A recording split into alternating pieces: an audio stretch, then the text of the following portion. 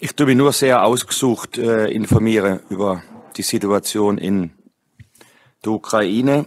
Natürlich weiß ich, was da also aus, aus, aus Bilder vorgeht, aber ich probiere die Masse an Bilder und das, was dann im, im Netz äh, äh, überall kolportiert wird und so, probiere ich sehr, sehr eingeschränkt äh, mit umzugehen. Das mache ich aber immer so. Ähm, was soll ich jetzt dazu sagen? Jeder äh, ist natürlich sehr, sehr bedrückt. Das hat natürlich auch was damit zu tun, wegen der räumlichen Nähe.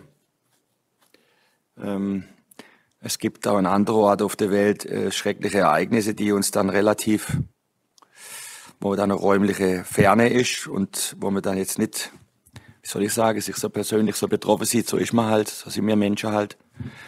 Äh, und es ist mm, sehr gut, dass Deutschland eine die Hilfsbereitschaft zeigt, grundsätzlich den, den Menschen aus der Ukraine zu helfen.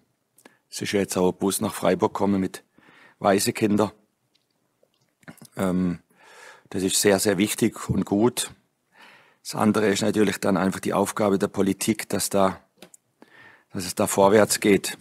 Ich bin der Meinung, dass es gut ist, dass wir kicken ähm, und dass wir Veranstaltungen haben und dass wir Sport haben, ähm, weil ich äh, nicht glaube, dass es gut wäre, wenn wir das alles einstellen würde. Ich glaube, das würde uns nicht helfen, ähm, sondern ich finde es richtig, aber ähm, natürlich äh, belastet es alle Menschen sehr und äh, am schlimmsten ist natürlich für die Menschen in der Ukraine, ähm, schlimm ist es auch für die Menschen in Russland, ähm, wenn dann die großen Busse schon hergefahren werden, so nach dem Motto raus aus der U-Bahn und die wollen irgendwo ein Plakat hochheben oder sagen, dass sie gegen den Krieg sind.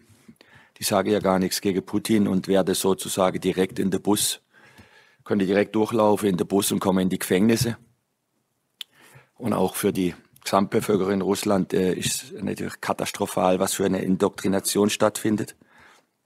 Ich habe die Tagesschau gesehen, die staatliche von, äh, von Russland. Es ist, es ist Hanebüche, äh, was für eine Propaganda da stattfindet und wie da gelogen wird. Aber das kennen wir ja, ist ja nicht nur in Russland so.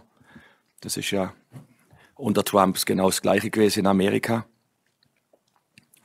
Ähm, das sind alles Situationen, die einem, die einem nachdenklich stimmen. Aber ich finde es richtig, dass, dass wir ähm, weiter Sport treiben und dass wir äh, Wettkämpfe durchführen im sportlichen Bereich.